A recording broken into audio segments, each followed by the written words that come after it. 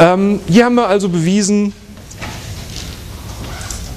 haben wir es bewiesen, wir haben was direkt bewiesen. Ja, wir haben direkt bewiesen, indem wir auf der einen Seite anfangen, hier bei, dem, bei einer Gleichung, auf der einen Seite anfangen, Axiome, Definitionen und so weiter verwenden und auf der rechten Seite rauskommen. So, ist die Gleichheit gezeigt. Das geht aber leider nicht immer so einfach. Gucken wir mal Folgendes an hier. Zuzeigen. Für alle n vom Typ n0 gilt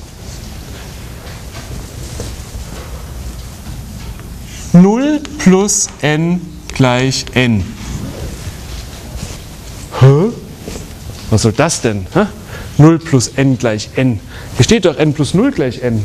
Haben wir doch, wissen wir doch schon. Nee, wissen wir nicht.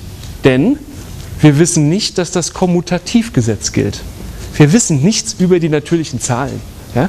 Wir, und nichts über die Addition bis auf das hier, n plus 1 gleich Sigma von n, sonst wissen wir nichts. Wir wissen nicht, dass das Assoziativgesetz gilt, wir wissen nicht, dass das Kommutativgesetz gilt und so weiter. Das wollen wir jetzt alles beweisen und es wird Ihre Übungsaufgabe sein, das alles zu beweisen aufgrund dieser ganz grundlegenden Definition der natürlichen Zahlen. Ja? Sie wissen natürlich, dass das Kommutativgesetz gilt, aber Sie haben es noch nicht bewiesen. Ja? Und das machen wir jetzt und ein Schritt dahin ist, das hier zu beweisen. So, jetzt habe ich aber ein Problem hier. 0 plus n gleich n. Angenommen, ich fange jetzt auf einer Seite an mit 0 plus n. Machen wir mal. 0 plus n ist gleich. Das kann ich nicht anwenden, weil die 0 nicht rechts steht. Das kann ich nicht anwenden, weil kein Sigma vorkommt. Ich brauche das Sigma im Text, damit ich das hier anwenden kann. Das kann ich nicht anwenden, das weiß ich auch, aber das kann ich auch nicht anwenden, ist keine 1 drin. Ja? Das kann ich auch nicht anwenden, weil es nicht die Form n plus 1 hat und nicht die Form Sigma n. Ich kann nichts anwenden. So, und da behilft man sich jetzt mit einem Trick, im Prinzip beruhend auf Piano 5, mit vollständiger Induktion. Ja? Beweis mit vollständiger Induktion.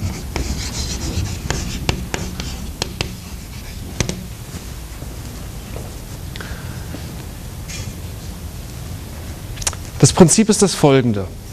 Ich will etwas für alle natürlichen Zahlen zeigen. Also kann ich das folgendermaßen machen. Ich zeige es für die Null. Die ist am Anfang. Ja? Und dann mache ich das folgende. Ich nehme mal an, es gilt für eine natürliche Zahl. Dann zeige ich auch, dass es für den Nachfolger gilt. Ich zeige es für die Null und ich zeige, wenn es für eine natürliche Zahl gilt, dann auch für deren Nachfolger. Damit habe ich Folgendes gemacht. Ich habe es für die Null gezeigt. Und wenn ich gezeigt habe, wenn es für eine Zahl gilt, dann auch für den Nachfolger. Es gilt für die Null, also auch für deren Nachfolger, für die 1. Damit auch für deren Nachfolger, für die 2. Damit auch für deren Nachfolger, für die 3. Für deren Nachfolger und so weiter und so weiter und so weiter. Damit habe ich es also für alle natürlichen Zahlen gezeigt. Ich zeige es für die 0 und ich zeige, wenn es für eine natürliche Zahl gilt, dann auch für die nächste. Und damit habe ich es für alle gezeigt. Kann man sich ganz gut veranschaulichen durch so ein Dominospiel. Ja? Ich beweise, der erste Stein fällt. Und ich beweise, wenn ein Stein fällt, dann fällt auch deren, dessen Nachfolgerstein. Ich habe bewiesen, der erste Stein fällt. Also fällt der erste Stein. Und ich habe bewiesen, wenn ein Stein fällt, dann auch deren, dessen Nachfolger. Der erste fällt, also auch dessen Nachfolger, der zweite.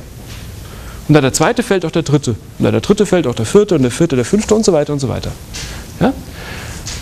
Das ist das Prinzip der vollständigen Induktion, das im Prinzip hier oben Piano 5 drauf beruht, dass die, die Null in den natürlichen Zahlen drin ist und für jeden Nachfolger auch, für jede natürliche Zahl auch deren Nachfolger. Das ist die Grundlage dafür. So. Und wir zeigen es jetzt erstmal für die Null. Ja? Vollständige Induktion schreibt man noch hin über n, damit man weiß, was man hier variiert. Erstmal hat man einen Induktionsanfang.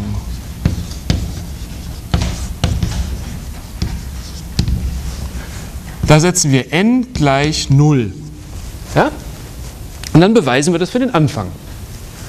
So, fangen wir mal an. 0, also ich fange jetzt hier der linken Seite an, setze für n 0 ein und form so lange um mich auf der rechten Seite rauskomme, die auch 0 ist. Ja? Also ich schreibe mal hin, was zu zeigen ist. Zu zeige 0 plus 0 gleich 0. Bisschen ungewöhnlich, gell? aber weiß man ja. Aber wir wissen eigentlich schon nicht so viel. Sie müssen sich immer wieder in die Lage versetzen, dass Sie eigentlich nichts wissen. So, 0 plus 0 ist gleich Jetzt müssen wir gucken, was können wir hier anwenden, was wir schon haben an Axiomen, Definitionen und bewiesenen Sätzen. Ah ja, das können wir anwenden hier. Ne? Irgendwas plus 0 ist irgendwas. Irgendwas plus 0 ist irgendwas. Fertig. Einfach nur Axiom, äh Quatsch, ähm, hier Definitionsteil Ad 1 angewendet. So. Und jetzt kommt der schwierige Teil, Induktionsschritt.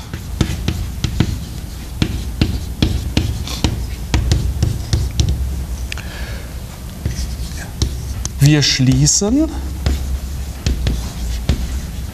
von n gleich k auf n gleich Sigma von k.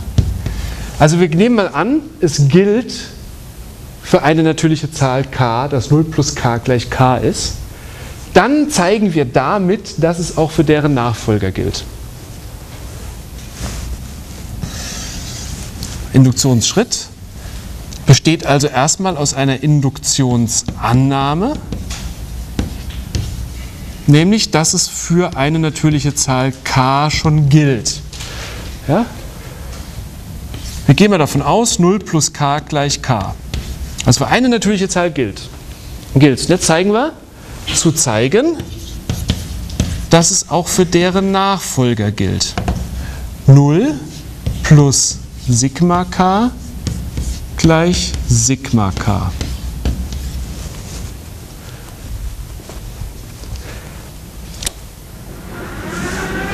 Das Praktische daran ist, dass wir davon ausgehen, dass das hier gilt für k und das dürfen wir jetzt auch verwenden im Beweis. Ja? Wir sagen nur, wenn das gilt, dann gilt auch das andere. Das heißt, wir gehen schon davon aus, dass das gilt, das heißt, wir dürfen es verwenden. So, Fangen wir links an. Das müssen wir zeigen. 0 plus Sigma k ist gleich 0 plus Sigma k.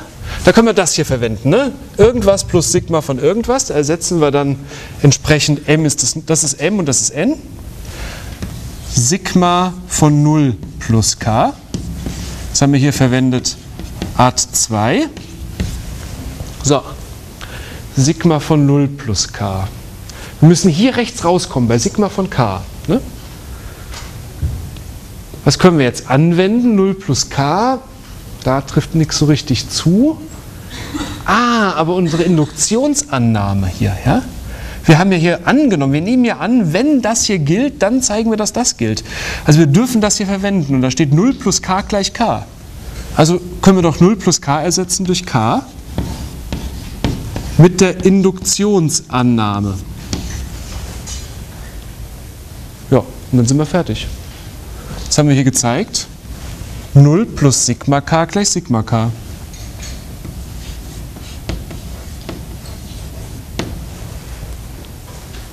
Also nochmal zusammenfassend. Vollständige Induktion. Wir konnten hier nichts verwenden, was wir, ähm, was wir bereits bewiesen hatten oder Axiomen hatten. Das heißt, man kann dann probieren, ob man über Induktion arbeiten kann, indem man es einmal für die Null zeigt.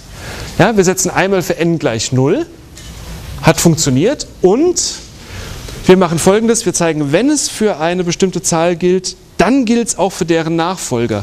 Wir nehmen also an, es gilt für eine Zahl k und dann zeigen wir, dass es auch für deren Nachfolger gilt, für Sigma k. Das heißt, wir müssen jetzt diese Gleichung hier zeigen. Und da können wir alles an Axiomen und Sätzen, was wir bewiesen haben und so verwenden, plus die Induktionsannahme. Und das ist der Trick. Ja? Das hilft uns, das hier zu beweisen, ohne dass wir es direkt beweisen können.